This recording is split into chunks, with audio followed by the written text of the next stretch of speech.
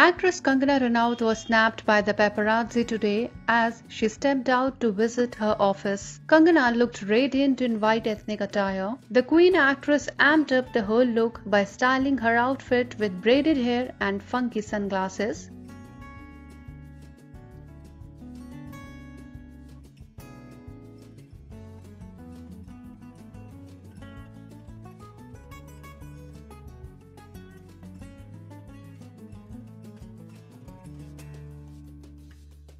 In September 2020, the BMC had demolished parts of Kangana's office in Bandra, citing illegal construction. The demolition work was stopped midway after a stay order from Bombay High Court on September 9. Kangana is all set to make her digital debut as producer with the upcoming film Tiku Weds Sheru, a love story and a satire.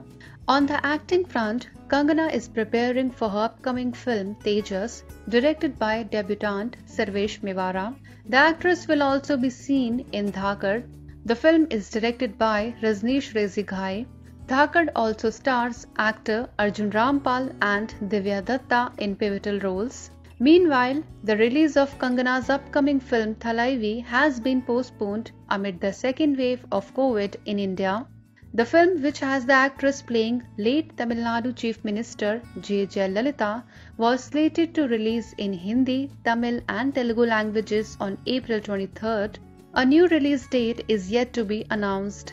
Directed by A.L. Vijay, Thalaivi also features Arvind Swamy, Prakash Raj, Madhu, and Bhagyashree in key roles.